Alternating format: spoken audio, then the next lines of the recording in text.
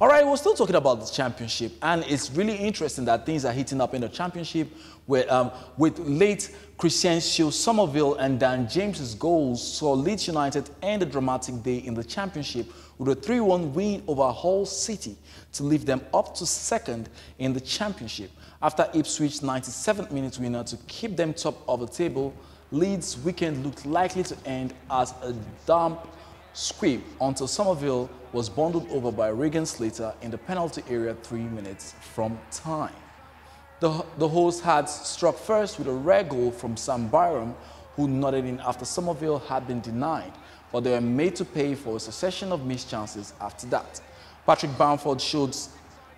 somehow skied an effort over from four yards before Hull equalized from their first chance when Fabio Carvalho got across his man to turn Tyler Morton's cross past Illan Meslier.